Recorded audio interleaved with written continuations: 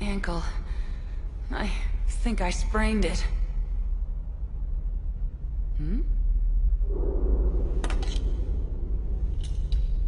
They're thick.